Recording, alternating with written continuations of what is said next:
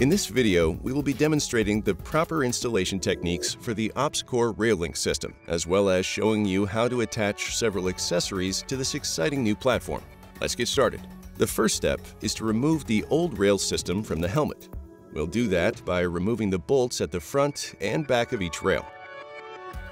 There are a couple things we need to do before we mount the RAILINK system to the helmet. First, we want to loosen the sizing bolts at the back so that there is some play in the system and it doesn't fit too tightly on the helmet initially. The hash marks above the sizing bolts correspond with different size helmets. The smallest hash mark roughly corresponds to a medium, the next hash mark a large, etc. If sizing for an extra large or double extra large helmet, be sure to swap out the sizing screws with the longer sizing screws included with RAILINK.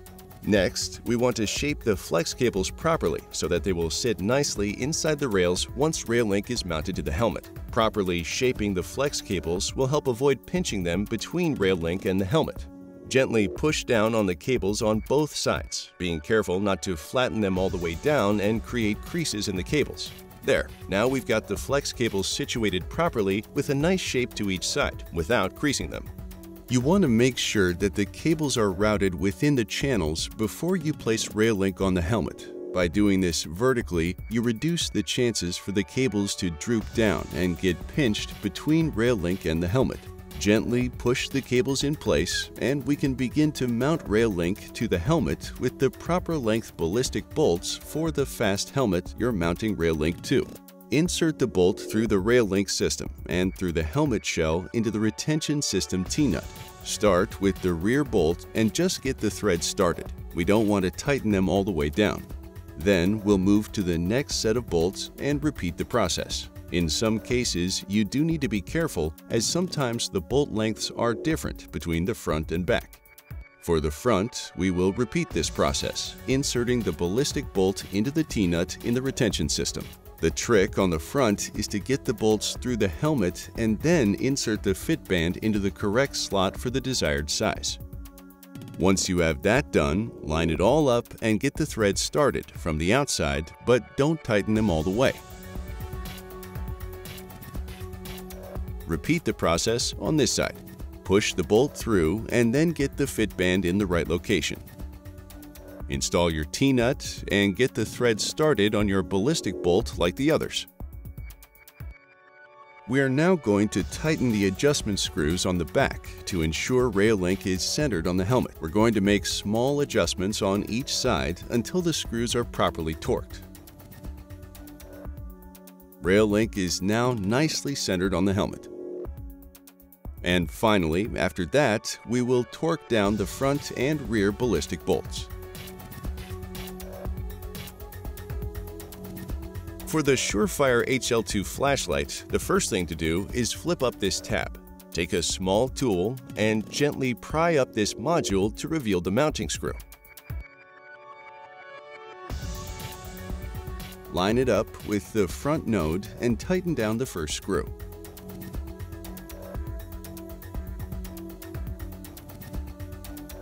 The trick here is you insert it at an angle, front part first then you tip it downwards and then lock up. And screw down the rear screw, making sure you don't over tighten. Now we will mount a Princeton Tec Switch MPLS to the right side, tightening the screws like we did on the other side. The Princeton Tec does not have a particular order of which screw to tighten first, but again, be sure not to over tighten. Now we will move to the rear. And here is the core survival strobe. The unit with the IR Viz selector is mounted on the right node, while the unit with the 0, 1, 2 on-off switch is mounted on the left. Careful again not to over torque. And on the left-hand side is the on-off switch. Tighten down the screws again, always being careful not to over torque them.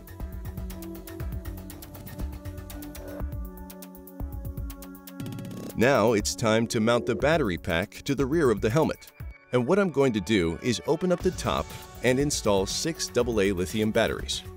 The battery pack is designed to operate with all batteries facing up. You don't have to do your alternating up and downs like you might be used to. You can tighten down the top cap now, but don't tighten it all the way because there is also a secondary lock on it. We'll get to that in just a minute.